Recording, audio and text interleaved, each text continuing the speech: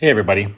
It's uh, Wednesday today, no, or January 25th, almost the end of January. Kind of amazing.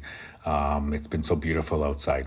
Anyway, today is um, Bell Let's Talk Day, a day we kind of share ideas and talk about mental, mental, mental health and mental wellness. And so, I would just like to encourage everyone to uh, to Marnie and I keep talking about how you know we need to be open and honest about um, how we are feeling and what's going on. And so, take time today to share with somebody, or just take time to listen to somebody because that's just as important. You know, it's okay for you or us not to be okay. And um, we just need to think about that and to be honest. And so take some time today, take care of yourself, listen to somebody, share with somebody, and have a wonderful day. Have a great week, everybody. See you later. Bye.